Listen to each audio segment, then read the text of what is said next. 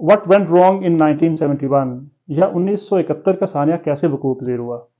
اس column کے لکھنے والے ہیں جناب شجاع نواز صاحب، اور یہ کالم چھپا ہے آج کے ڈون اخبار میں۔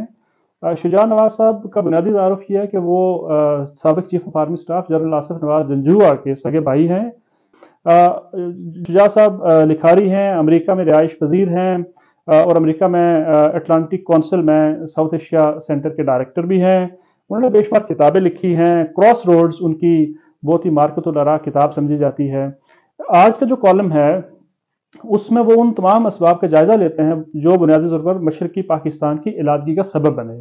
تو آج کی پڑیو ہے، اگر آپ یہ دیکھیں گے تو آپ اس تمام تاریخ سے واقف ہو جائیں گے جو آپ کو انفیکٹ اسٹیٹ کی طرف سے یا مختلف لکھاریوں کی طرف سے بہت ہی مس کنسٹرو کر کے اور بہت ہی توڑ موڑ کر آپ کو دی جاتی ہے۔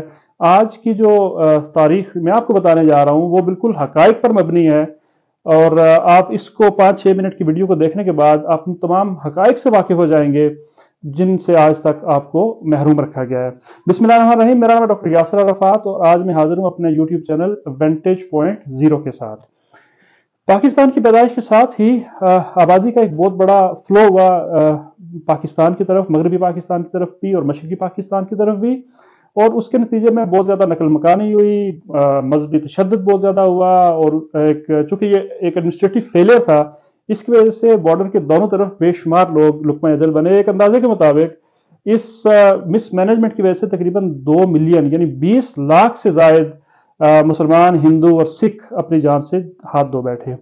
اور اس کے علاوہ آبادی کا پھیلاؤ بھی بہت زیادہ تھا۔ اور ان سب چیزوں نے مل کر ایک بہت ہی گہرا نفسیاتی اثر ڈالا۔ پاکستان کے دونوں حصوں پر بھی اور انڈین جو حصہ تھا اس پر بھی۔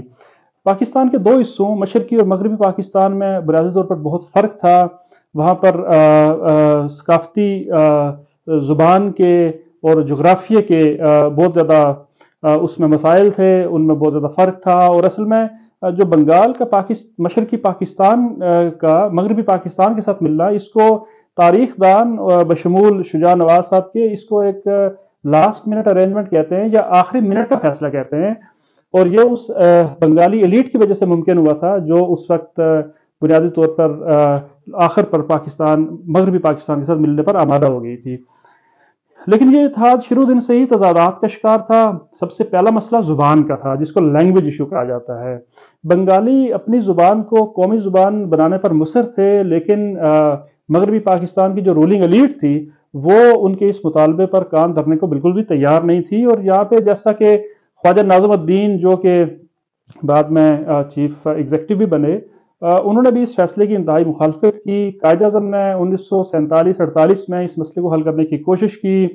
وہ انہوں نے ایک ہفتے کا دورہ کیا بنگال کا اور ڈھاکہ یونیورسٹی میں خطاب کرتے ہوئے بھی انہوں نے کہا کہ Pakistan Pakistan language official language will be Urdu and no other language بلکہ اس پہ بہت زیادہ اعتراض بھی ہوا کئی اس پہ جوکس بھی بنے، مذاق بھی لوگوں نے اس پہ بنائے کہ ایک انگریزی بولنے والا لیڈر بنگالی بولنے والوں کو انگریزی زبان میں یہ کہہ رہا ہے کہ سرکاری زبان اردو ہوگی۔ تو یہ اٹ سیلف جو سٹیٹمنٹ تھی، اس کے بارے میں لوگ کہتے ہیں کہ یہ کافی زیادہ جو ہے وہ تضادات کا مجموعہ تھی۔ خیر، یہ معاملہ جب آگے چلا تو انیس سو باون میں ہونے والے احتجاج میں پولیس کی طرف سے فائرنگ کی گئی، کئی بنگالی اس میں ہلاک ہو گئے اور اس تنازع میں عوامی لیگ جو ہے اس کو جنم لینے کا موقع ملا۔ اور انیس سو پچپن میں عوامی لیگ ہی جو تھی وہ نہ صرف بن گئی بلکہ انہوں نے زبان کے تنازع کے نتیجے میں اپنے شہید ہونے والے لوگوں کے لیے یادگار شودا کی بنیاد بھی رکھی۔ پھر اس کے تھوڑا سا بعد میں اگر دیکھیں تو جو مغربی پاکستان ہے، اس نے مشرقی پاکستان کی اکثریتی آبادی سے خوف کھاتے ہوئے مغربی پاکستان کو اور مشرقی پاکستان کو کے آبادی کے جو جو فرق تھا، اس کو ختم کرنے کے لیے انہوں نے ایک ون یونٹ میں مغربی پاکستان کو بدل دیا، جو موجودہ پاکستان ہے۔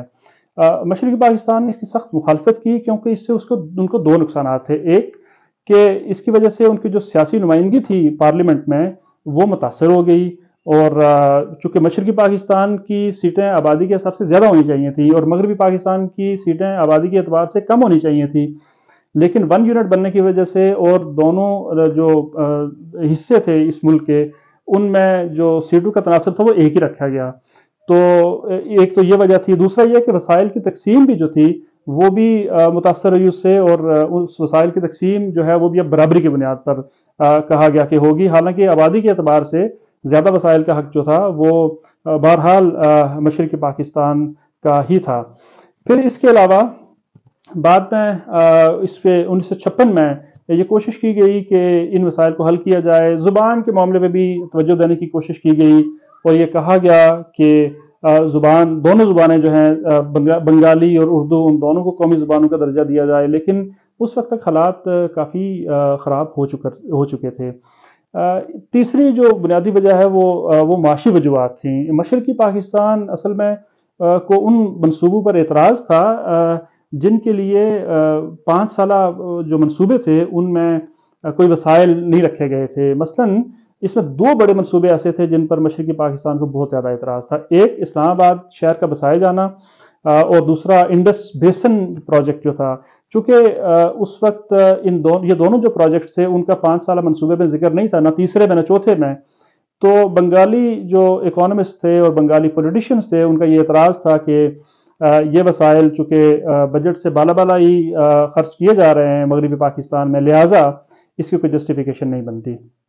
اس کے علاوہ چونکہ دارالخلافہ پاکستان، مغربی پاکستان میں تھا، مشرقی پاکستان میں نہیں تھا، اور کاروبار چلانے کے لیے اور صنعت چلانے کے لیے اور اس طرح کے باقی جو منصوبے تھے ان کے لیے جو لائسنس تھا، اس وقت وہ لائسنس لینا ظاہر ہے کہ دارالخلافے سے ہی ممکن تھا، اس کی منظوری مختلف منسٹریز سے وہ بھی۔ تو جو مشرقی پاکستان کے لوگ تھے، جو موجودہ بنگلہ دیش کے لوگ ہیں، انہوں نے یہ سوچا کہ یہ ان کے ساتھ ایک بڑی زیادتی ہے۔ کیونکہ اس سے ان کو بہت زیادہ مسائل کا سامنا کرنا پڑتا تھا۔ اسی طرح، مغربی پاکستان کی افواج اور نوکر شاہی بھی یعنی بیوروکریسی جو ہے، اس میں بھی مشرقی پاکستان کا حصہ تقریباً نہ ہونے کے برابر تھا۔ اس لیے کہ جو اسی فیصد جو جو آبادی تھی، جو جو فوج تھی، وہ مغربی پاکستان میں تھی اور صرف بیس پرسنٹ کے قریب جو ہے، وہ مشرقی پاکستان میں تھی۔ تو ظاہرہ فوج کی وجہ سے روڈز بھی چاہیے تھیں، ان کی وجہ سے ہوائی اڈے بھی چاہیے تھے، اس کی وجہ سے فوج کی تنخواہیں، ان کی پینشنز اور اس اس طرح انفراسٹرکچر یہ سارا کچھ۔ تو یہ سارا پیسہ مغربی پاکستان میں، موجودہ پاکستان میں لگ رہا تھا۔ تو مشرقی پاکستان کو یہ بھی لگ رہا تھا کہ یہ ان کے ساتھ زیادتی ہے۔ سرتاج عزیز صاحب جو کہ بعد میں فائنینس منسٹر بھی رہے مسلم لیگ نون کے دور میں، انہوں نے اپنی ڈائری میں لکھا ہے کہ مشرقی پاکستان میں تقریباً سارے ہی معیشت دان یہ سمجھتے تھے کہ ان کی خوشحالی صرف اور صرف علادگی میں ہی ممکن ہے۔ اسی اسنا میں ذوالفقار علی بھٹو نے ایوب خان کے خلاف ایک تحریک شروع کر دی۔ دونوں جو مشرقی اور مغربی پاکستان ہیں، اس میں ایوب خان تو اپنے جو اپنے آپ کو آئرن مین آف ایشیا کہتے تھے ڈیگال آف ایشیا کہتے تھے، انہوں نے دس سالہ سنہری ترقی کا دور اس کا اجرا بھی کیا۔ لیکن بعد میں حالات نے یہ ثابت کیا کہ جو آئرن مین آف ایشیا تھا بیسکلی اس کے جو پاؤں تھے، وہ کچی مٹی کے بنے ہوئے تھے۔ چونکہ وہ ذوالفقار علی بھٹو اور مجیب الرحمان کی جو جو کا جو احتجاج تھا اس کے سامنے وہ زیادہ دیر ٹھہر ہی نہیں سکے۔ سو اس وقت، اس سٹیج پہ پھر ایک بہت بڑا واقعہ ہوا۔ وہ یہ تھا کہ ایوب خان نے اپنا زمام اقتدار جو تھی، وہ یحییٰ خان کو سپرد کر دی اور کیونکہ وہ ان مظاہروں کی تاب نہ لا سکے۔ حالانکہ یہ اقتدار ان کو یحییٰ خان کو نہیں دینا چاہیے تھا۔ اس وقت جو قومی اسمبلی کے سپیکر تھے، وہ ایک بنگالی تھے۔ اور یہ اقتدار بنیادی طور پر اس بنگالی اسپیکر کو دینا چاہیے تھا جو کہ انہوں نے یحییٰ خان کو دیا۔ اس کے ساتھ پھر یہ ہوا کہ یحییٰ خان نے آزاد اور شفاف انتخابات کا نعرہ تو لگایا، لیکن اس وقت ملک چلانے کی ان میں اہلیت نہیں تھی اور اس کی وجہ سے وہ ناکام راستوں کے مسافر بنے۔ اس وقت ایک اور عالمی منظرنامے کو اگر دیکھا جائے تو بہت بڑی تبدیلی آ رہی تھی اور وہ تھی چین اور امریکہ کے تعلقات کا اجرا۔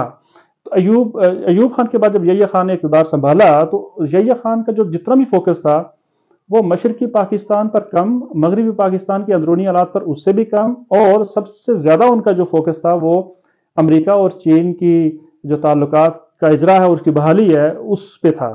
تو اس دوران میں اکتوبر میں سیلاب آ گیا، وہ سیلاب مشرقی پاکستان میں تھا، اور اس کی وجہ سے نومبر میں ایک اور وہاں پہ بہت بڑا مسئلہ ہوا، ایک سمندری طوفان نے وہاں پہ سر اٹھایا، جس میں سے تقریباً تین سے پانچ لاکھ بنگالی جو ہے، انہوں نے اس کو اس سمندری طوفان نے موت کے سفر پر روانہ کیا۔ یا حکومت جو تھی وہ بہت سست روی کا شکار تھی۔ مشرقی پاکستان میں لوگوں کی وہ داد رسی نہ کر سکی اور تیئیس نومبر کو ایک پریس کانفرنس میں یحییٰ خان نے اپنی حکومت کی اور اپنی انتظامیہ کی نائلی کا اعتراف بھی کیا۔ اگر ہم دوسری طرف دیکھیں تو شیخ مجیب اور مولانا عبد الامید باشانی جو تھے، انہوں نے ماشاء اللہ حکومت کو سخت تنقید کا نشانہ بنانا شروع کر دیا۔ مجیب نے علاقائی خود بختاری کا نعرہ لگا دیا، یحییٰ خان نے الیکشن موخر کرنے کا مطالبہ رد کر دیا۔ اسی پس منظر میں بہرحال انیس سو ستر کے جو الیکشنز تھے وہ ہو گئے اور شجاع نواز کے مطابق یہ الیکشنز پاکستان کی تاریخ کے شفاف ترین الیکشنز تھے۔ مشرقی پاکستان میں مجیب نے ایک سو باسٹھ میں سے ایک سو ایک سو ساٹھ سیٹیں لیں اور مغربی پاکستان میں یعنی موجودہ پاکستان میں ذوالفقار علی بھٹو نے ایک سو بتیس میں سے صرف اکیاسی سیٹیں لیں۔ یحییٰ نے ڈھاکہ میں مجیب الرحمان سے ملاقات کی اور بعد میں پریس کانفرنس میں یہ بتایا کہ اگلے وزیر اعظم بجا طور پر شیخ مجیب الرحمان ہی ہوں گے۔ اور یحییٰ خان نے بھٹو کو بھی یہ مشورہ دیا کہ وہ ڈھاکہ میں جائیں اور مجیب الرحمان سے اپنے معاملات سیدھے کریں۔ لیکن اس دوران میں جو بے چینی تھی اور تناؤ تھا، اس میں اضافہ ہو گیا۔ شجاع نواز کے مطابق آرمی نے مشرقی پاکستان میں کوئی اور ہی منصوبہ بنایا ہوا تھا۔ اس کے بنیادی خالق جو تھے، وہ لیفٹیننٹ جنرل صاحبزادہ یعقوب خان تھے۔ بعد میں بہرحال ان کا چینج آف ہارٹ ہو گیا یا ان کو یہ لگا کہ ان کو یہ آپریشن نہیں کرنا چاہیے، تو انہوں نے انکار کر دیا۔ پھر ان کو ڈیموٹ کر دیا گیا۔ ان کو لیفٹیننٹ جنرل کے عہدے سے ڈیموٹ کر کے میجر جنرل بنا دیا گیا۔ اور اس کے بعد یہ ہوا کہ جنرل ٹکا خان کو آپریشن کی ذمہ داری دی گئی۔ جنرل خان کے آپریشن نے مشرقی پاکستان کے حالات مزید خراب کر دیے اور بھٹو اور مجیب کے درمیان بھی کسی فیصلے پر کوئی اتفاق نہیں ہو سکا۔ پھر یہ ہوا کہ آپریشن سرچ لائٹ شروع کیا گیا اور یہ آپریشن سرچ لائٹ جو تھا، وہ جنرل نیازی جو تھے، ان کو کمان دے کر ان کے سپرد کیا گیا اور جنرل نیازی نے آپریشن سرچ لائٹ شروع کیا۔ پچیس مارچ انیس سو اکہتر کو یہ آپریشن شروع کیا گیا۔ مجیب الرحمان کو قید کر دیا گیا، انہیں مغربی پاکستان میں منتقل کر دیا گیا۔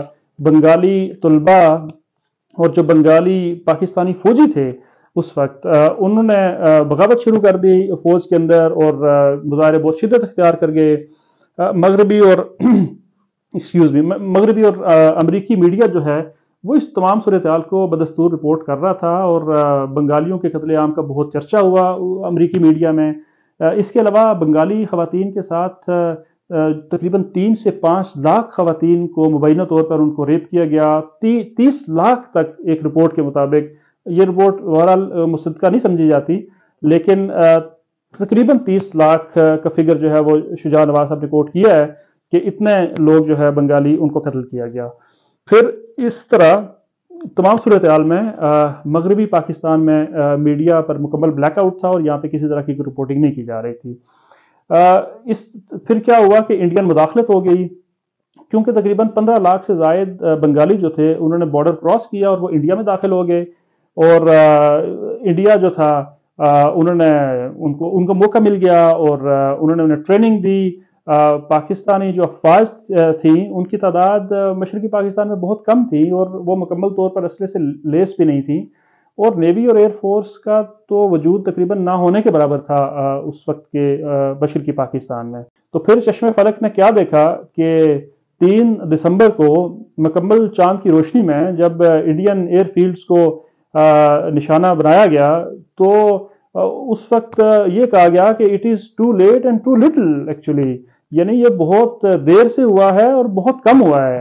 تو یحییٰ خان جن کے حکم پر یہ ہوا تھا، ان کی بھڑک بازی کسی کام نہ آ سکی۔ آخر میں نہ چین پاکستان کی مدد کو آیا، نہ امریکہ پاکستان کی مدد کو آیا۔ ہاں انڈیا نے ضرور انٹرفیئر کیا، لیکن وہ مدد کرنے کے لیے نہیں، بلکہ انہوں نے اصل میں وہاں پر قبضہ کرنے کے لیے اپنے پیرا ٹروپرز کو لینڈ کیا ڈھاکہ میں اور پھر پلٹن میدان میں سب نے دیکھا کہ جنرل نیازی جو تھے وہ نہ صرف اپنے ریوالور بلکہ ایک دستخط شدہ جو معاہدہ تھا سرنڈر اگریمنٹ جو ہے، وہ بھی ہوا۔ جنرل نیازی نے ہتھیار ڈال دیے۔ اس صورتحال میں جو سب سے زیادہ قابل اعتراض بات شکست کے بعد تھی، وہ جنرل نیازی کا رویہ تھا۔ جنرل شجاع نواز یہ لکھتے ہیں، جناب شجاع نواز یہ لکھتے ہیں کہ اس وقت جنرل لیازی جو تھے، وہ ڈیوٹی جوکس ایکسچینج کر رہے تھے اپنے انڈین کاؤنٹر پارٹس کے ساتھ یعنی وہ گندے لطیفے سنا رہے تھے انہیں۔ تو یہ بھی ایک بڑا شرمناک باب ہے پاکستانی تاریخ کا۔ اس طرح پاکستان ٹوٹ گیا جنا کا پاکستان آدھا رہ گیا، بھٹو کو ایمرجنسی میں نیو یارک سے واپس بلایا گیا، جو اس وقت یونائٹڈ نیشنز میں پاکستان کا مقدمہ لڑ رہے تھے۔ نوے ہزار سے زائد سویلین اور ملٹری مین جو ہیں وہ انڈیا کے مہمان بنے اور بعد میں انیس سو بہتر میں شملہ معاہدے کے نتیجے میں ان کو ذوالفقار علی بھٹو جو ہے وہ پاکستان واپس لے گیا اس سارے عمل میں ایک کمیشن بھی بنا تھا اور اس کمیشن کا نام تھا حمود حمود الرحمان کمیشن۔ اس کی رپورٹ کچھ تھوڑی سی انڈیا کے اخبارات میں شائع ہوئی اور باقی رپورٹ کہاں ہے؟ یہ آج تک ہمیں پتہ نہیں چل سکا۔ آج بھی پاکستان کے عوام یہ جاننا چاہتے ہیں کہ حمود الرحمان کمیشن رپورٹ کہاں ہے اور اس میں کیا فائنڈنگز آئی تھیں اور اس میں کیا نتائج نکالے گئے تھے، یہ وہ سوال ہے جو ہر پاکستانی جس کا جواب چاہتا ہے۔